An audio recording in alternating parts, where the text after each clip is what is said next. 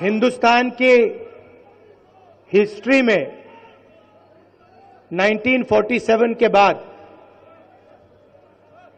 बहुत सारी union territories को स्टेट बनाया गया।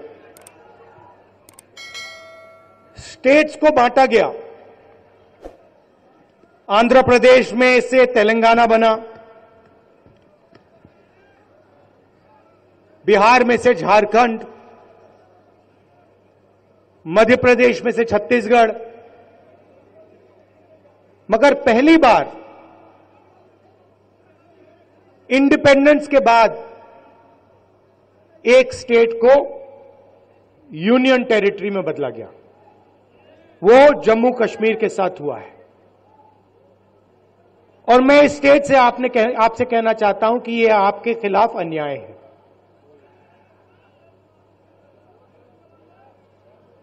आपका लोकतांत्रिक हक आपसे छीन लिया गया है।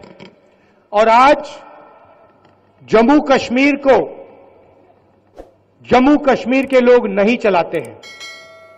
आज जम्मू कश्मीर को दूसरे स्टेट के लोग चलाते हैं। हमने सोचा था कि चुनाव से पहले आपको स्टेटहुड वापस मिल जाएगा। और सही तरीका वही था। सही तरीका था कि पहले स्टेटहुड दो और उसके बाद चुनाव कराओ। अब ठीक है, पहले चुनाव करा दिया, मगर हम चाहते हैं कि जल्दी से जल्दी आपका जो लोकतांत्रिक हक है जम्मू कश्मीर का जो स्टेटहुड है वो आपको वापस मिले।